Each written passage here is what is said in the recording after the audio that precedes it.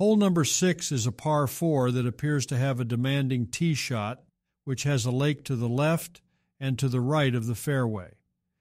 Even with the lakes on both sides of the fairway, this hole still has a generous landing area.